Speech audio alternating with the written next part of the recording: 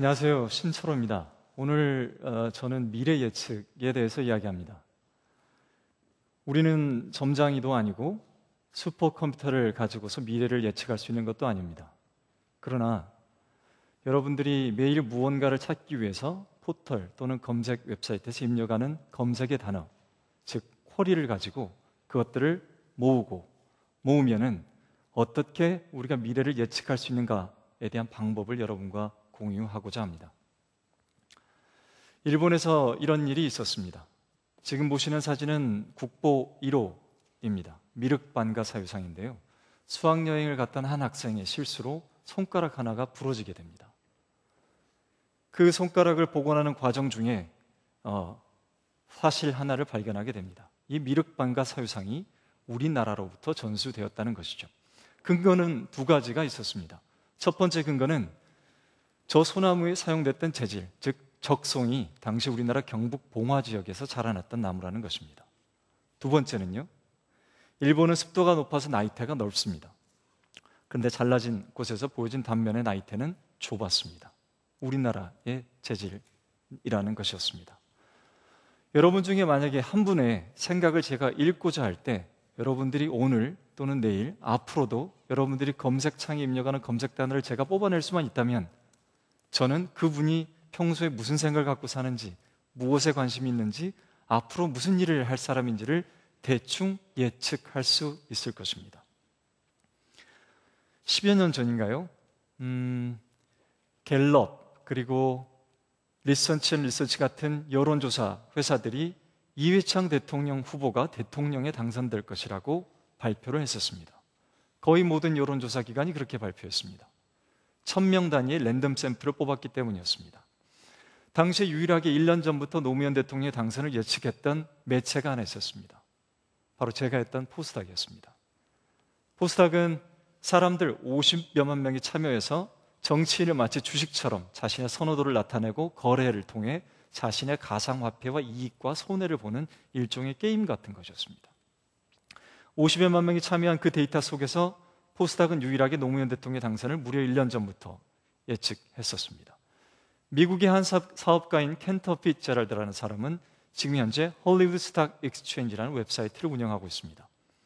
아카데미 시상식에서 누가 수상을 할 건가, 어떤 영화 배우가 수상을 할 건가에 대한 정보를 판매하는 웹 서비스입니다.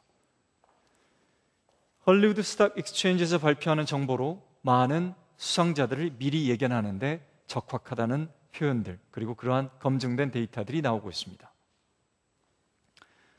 이 숫자를 보시면요. 1638억 회, 그리고 183억 회의 숫자가 있습니다. 상단에 있는 숫자는 여러분들이 웹사이트에 들어가서 임의로 눌러대는 클릭할 때마다 생성되는 page view의 숫자입니다. 2009년 3분기 국내 4대 포털에서 나왔던 통계입니다.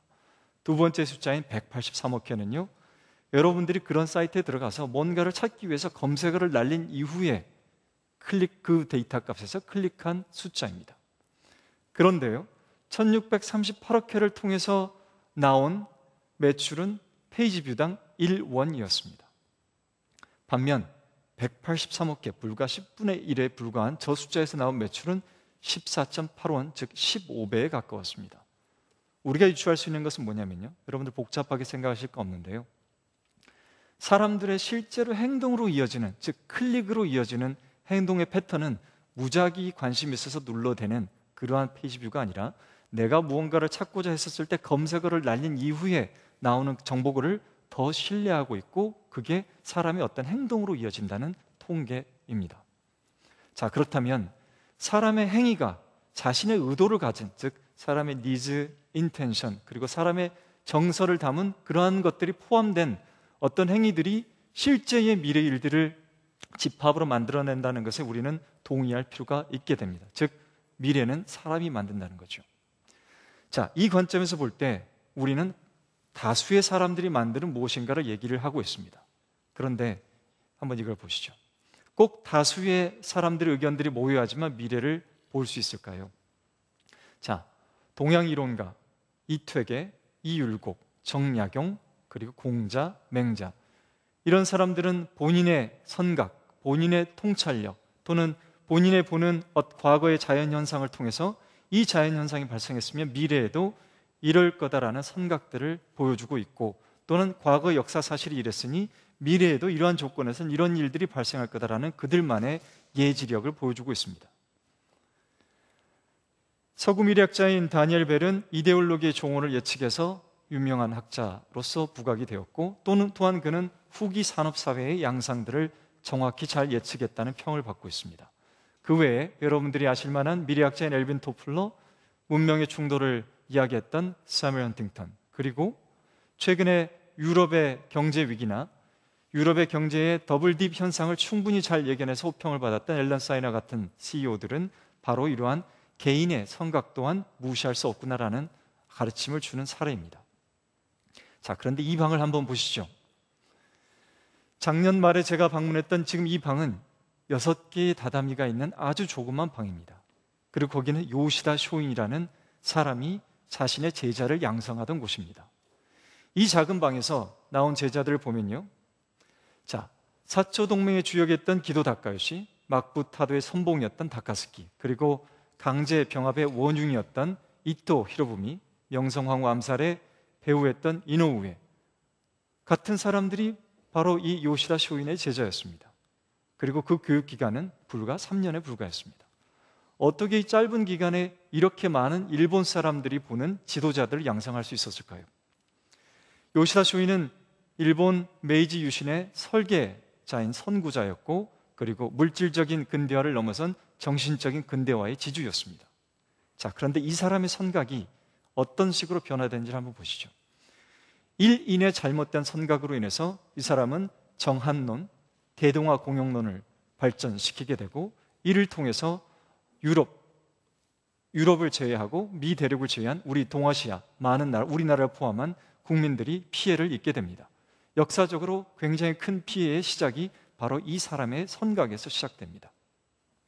1인의 잘못된 선각이 어떠한 일을 일으키는지 하나의 사례로 보는 건데, 자, 그러한 소수의 선각을 어떻게 우리가 극복해야 될까요? 그 소수의 선각이 잘못됐을 때 어떻게 이를 이겨낼 수 있을까요? 사람들은 그래서 지식인들과 전문가들의 집단인 위원회를 만듭니다. 그래서 과학기술이 어떻게 미래에 발생할 건가라는 것을 예측하고 그에 대한 준비도 합니다. 그러나 보시다시피 성공적으로 예측하는 경우도 있고 또한 많은 경우 실패합니다. 자, 그렇다면 우리는 이러한 소수의 사람들이 무언가를 자신의 통찰력과 직관으로 예측하거나 어떤 예측의 방법으로 예측하는 것을 넘어서는 즉 소수 성각의 맹점을 제거할 필요성을 갖게 됩니다. 우리가 미래를 예측하는 이유가 있습니다. 첫 번째는요, 미래의 뭔가 불확실성, 그때 그 영역을 제거함으로써 뭔가 준비된 혁신이나 준비된 변화를 내가 미리 꾀하겠다라는 의지입니다. 두 번째는 좀 더 추상적으로 보면요. 뭔가 좀 더 사람들이 더 이롭게 하기 위해서 새로운 가치를 만들어내기 위해 미래를 예측하겠다라고도 볼 수 있습니다. 예측의 방법은 만 나왔습니다. 어떤 과거의 지식 베이스들을 통합적으로 모으고 모으고 모아서 그를 통해서 미래를 예측하는 방법도 있고요. 또는 과거의 통계 또는 이 추세가 과거의 추세가 저랬으니 미래의 추세는 이럴, 이럴 거다라는 시계열의 방법 또는 모델링을 통한 예측을 뭔가를 미래를 알고자 하는 예측 모델링 등의 방법이 있습니다. 그리고요. 여기서 보시는 글렌 그리고 코데이로라는 학자들은 무려 30여 가지가 넘는 예측의 방법들을 굉장히 다양하게 제시하고 있습니다. 이렇게 복잡한 게 있는 것만이 아니고요. 간단한 예를 제가 하나 들어보겠습니다. 만약에 여러분들이 신문사의 발행인입니다. 자, 내일 신문을 몇 부를 인쇄를 해서 팔아야 재고로 쌓지 않고 가장 적확한 수요 예측을 할 수 있을까? 바로 그 공식이 여기서 출발을 합니다. 만약에요, 어, 신문의 가격이 12원이다. 그리고 신문 하나를 인쇄해 드는 비용이 9원이다. 그런데 아무리 생각해 봐도 우리 신문을 볼 사람은 100사람을 넘지 않을 것 같다. 라고 해서 저 수요를 뽑아보면요. 내일은 25분만 인쇄를 하는 게 가장 낭비되지 않는 가장 적절한 수요겠구나. 이렇게 예측을 할 수 있습니다. 바로 수요 예측의 공식이죠. 이런 여러 가지 방법들을 한번 정리를 해보시죠. 지금까지 제가 드린 말씀은 이 한 장에 다 포함이 되어 있습니다. 뭔가 우리가 미래를 예측하는 방법은 한 개인의 뛰어난 직관과 통찰에 의지하기도 하고요. 또는 과거의 현상들과 데이터들을 분석한 통계와 분석의 방법에 의지하기도 합니다. 또는 아까 많은 사람들이 참여해서 여러 사람들의 지성들을 모은 집단의 지성을 활용하기도 하고요. 제가 포스닥에서 예를 들었던 상대적 합리성, 즉 각 개인의 이익과 손해의 관계에 얽매여서 사람들이 이익을 이익이 나는 쪽으로 뭔가를 선택하게 될 거다. 그리고 그 다수를 모으게 되면 그 방향대로 미래가 흘러갈 거다라는 상대적 합리성에 기초한 미래 예측 방법들이 있습니다. 오늘 말씀드리는 query 기반의 prediction, 미래 예측은 바로 집단 지성과 상대적 합리성의 장점들을 뽑아놓은 그 중간 영역에 위치하고 있습니다. 자, 만약 우리가 우리 대한민국의 모든 사람들 그리고 세계의 많은 사람들이 어떤 것들을 단어를 검색하고 있는지를 다 모아볼 수 있다면 여러분들은 무엇을 예측하고 싶으십니까? 어떤 것들을 미리 알아보고 싶으신가요?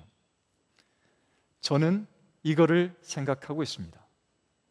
만약 여러분들이 지금 이 장소에 오기까지 타고 오신 차량에 달려있는 내비게이션에서 여러분들이 목적지를 무엇으로 검색했는지 데이터를 지금 여러, 여기 있는 여러분만이 아니라 100사람, 만 사람, 100만 명들을 다 모아낼 수 있다면 그리고 그분이 출발하려고 했었을 때 그 현재 그 당시의 현재 위치 정보를 제가 추출해내서 제 데이터에 다 모아놓을 수 있다면 저는 아마 A라는 사람이 이쪽에서 출발해서 목적지가 여기라는 그래프 그리고 이 사람이 출발해서 목적지가 여기라는 그래프를 찾아낼 수 있을 것입니다. 그러면 중간에 교합점이 있겠죠. 이 교집합들을 제가 접고 짚고 짚게 되면 아, 일정 시간 후에 그 지점들은 교통이 정체될 거야 라고 우리가 예측할 수도 있습니다. 그 예측을 통해서 예보를 한다면 정체를 훨씬 더 교통을 분산시켜서 효율적인 교통 체계를 만들 수도 있겠죠. 또한 주식 거래량이 있습니다. MIT는 이런 발표를 했었습니다. 주가를 예측할 수 있는 게 그리 쉽지 않다라는 많은 논문들을 발표했었죠. 주가를 예측하기는 어렵지만 주식 거래량을 예측할 수는 있습니다. 만약에 삼성전자 또는 제가 속해 있는 오직기 주식회사가 거래소에 등록 거래가 될 때 그 회사의 검색량이 많아진다라고 했었을 때 그 회사의 관심도가 높아지고 적어도 주식의 거래량이 상응해서 많아질 거다라고 우리가 바라볼 수 있습니다. 민감도도 마찬가지죠.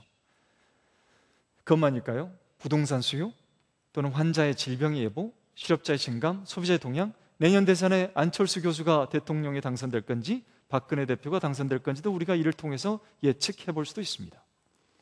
자, 구글의 사례를 보시죠. 2008년도에 구글이 네이처에 발표한 논문입니다.